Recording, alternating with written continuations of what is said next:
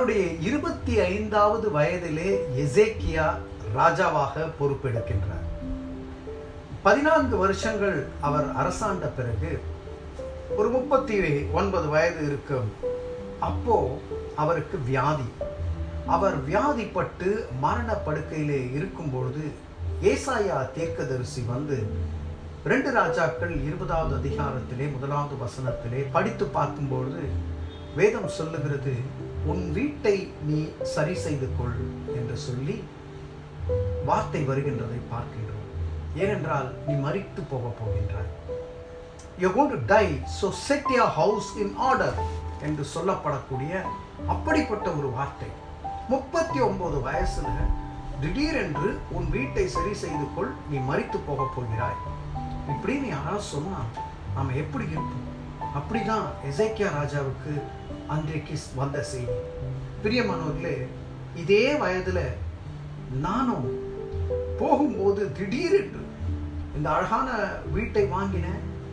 அப்போதான் என்னுடைய மகனை இந்த டான் பாஸ்கோ ஸ்கூலில் படிக்க வச்சு டென்த் ஸ்டாண்டர்டுக்குள்ளே வரான். என் வீடை நான் அப்போ தான் செட் பண்ணி கொண்டு இருக்கிறேன் ஆனால் அதுக்குள்ளோ நான் மறித்து போக போகிறேன் என்று எனக்கு வந்த பயாப்சி ரிப்போர்ட்டில் அடினோ கார்சினோமா என்று சொல்லப்படக்கூடிய கேன்சர் வியாதி என்று என்னை பற்றி கொண்டது. நான் மறித்து போவேன் என்று சொல்லி எல்லாரும் பேசக்கூடிய ஒரு சூழ்நிலை. ஆனால் அவருடைய தழும்புகளினாலே நான் குணமடைந்தேன் என்கின்ற ஒரு வார்த்தை என்னை பிடித்து கொண்டது.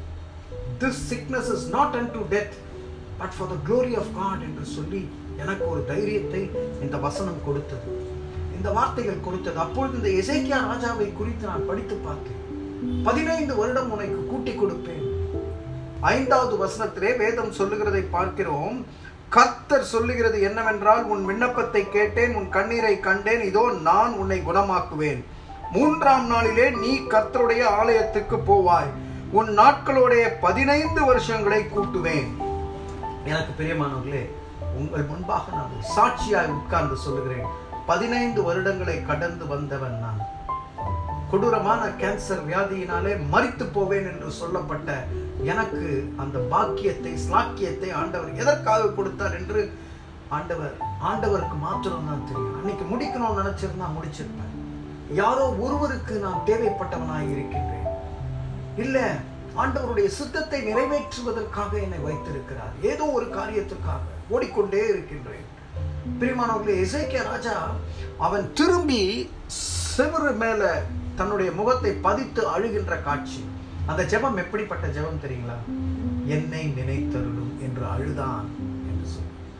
ஆண்டவரே என்னை மறந்துடாது. இன்னைக்கு இந்த காட் மார்னிங்கை கேட்டு இருக்க எனக்கு பிரியமானவர்களே நம்ம எவ்வளோ நாள் அழுதுருக்கோம். ஆண்டவர் சொல்லுகிறார் இன்னைக்கு உன் கண்ணீரை கண்டேன் உன் ஜெபத்தை கேட்டேன் உனக்கு வேண்டிய காரியத்தை நான் செய்வேன். இன்னைக்கு ஒரு வாக்குதத்தமாய் மூன்று நாளிலே நீங்கள் ஜெபித்துக் கொண்டிருக்கிறது நிறைவேறும். நீங்க எனக்கு ஃபோன் பண்ணி சொல்வீங்க அந்த ஒரு விசுவாசத்தோடு இந்த நாளை துவங்குவோம். ஏனென்றால் நம்முடைய தேவன் ஜீவனுள்ள தேவன். நேற்று இன்றும் என்றும் மாறாத தேவன். அன்றைக்கு எசேக்கியா ராஜாவுக்கு செய்த தேவன்.